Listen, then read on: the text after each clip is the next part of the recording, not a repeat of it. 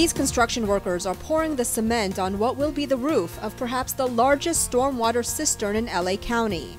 This facility is known as the Penmar Water Quality Improvement Project, a joint effort by the cities of Los Angeles and Santa Monica. It's being built in response to the Clean Water Act requirements for protecting the ocean waters of the Santa Monica Bay, a body of water, officials say, that has been plagued with high bacterial counts and other pollutants like trash, heavy metals, and organic compounds for years because of stormwater runoff. This new facility will address that issue by diverting and cleaning the rainwater for eventual non-potable irrigation uses. Number one, it reduces the amount of stormwater runoff that comes from our city and gets discharged in Santa Monica Bay.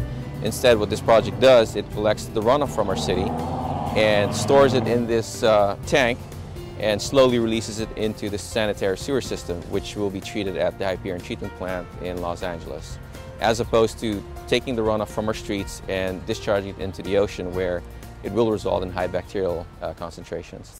The Penmar project is one of several projects jointly funded by Santa Monica's Measure V and Los Angeles's Proposition O. The $14 million project will be located underground at Rose Avenue just north of Penmar Boulevard in Venice. It's a massive construction project. It's 20 foot tall. It's 180 feet in diameter. We had to excavate some 25,000 yards of soil, approximately pouring back 3,000 yards of concrete. The walls are one foot thick. The roof will be about a foot and a half thick. The bottom of the tank is two and a half foot thick. We have 52 columns. Okay, we're going to have 52 of those columns are going to support the roof. Right. And the soil and the baseball diamond and field above. Pollutants will be removed from the stormwater in two phases. First, litter and debris will be collected from the Rose Avenue storm drain and removed here. From there, the water will be stored in the cistern and eventually pumped to the sewer for final treatment at the Hyperion treatment plant. Phase 2 of the project will see the installation of a disinfection treatment system on site where the water will be used for landscape irrigation for the Marine Park and Penmar Golf Course. This process will keep nearly 3 million gallons of untreated stormwater from reaching Santa Monica Bay.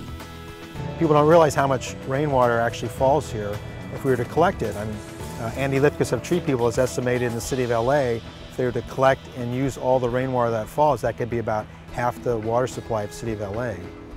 So, and you know, if we do that in Santa Monica, you know, again, that, and that helps us get towards our goal at City Council passes by 2020 that our city will be self-reliant on local water supplies.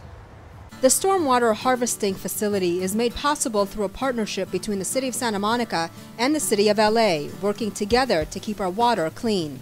Now we need the residents to also do their part. It's important to always recycle as much as you can, always put your trash in trash cans, recycle your used oil, pick up after your pets, each one of us has the power to make a difference. And you might think, I'm only one person. But there are 10 million of us living here in Los Angeles. And when everybody does their part to keep their communities clean, that then translates into cleaner water and cleaner beaches and a cleaner Santa Monica Bay.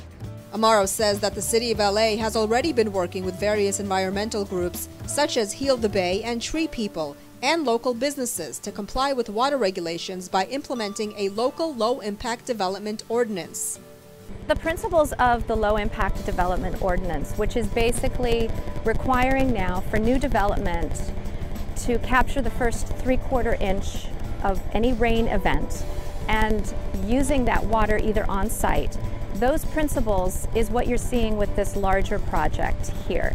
It's the idea that keeping rainwater on site and capturing it, either infiltrating it back into the groundwater or using it for irrigation purposes. That is what we in the City of Los Angeles are really encouraging businesses and residents to do. And if everyone does their part, Santa Monica's waters and surrounding areas will be a safer and healthier place for both beachgoers and marine life alike.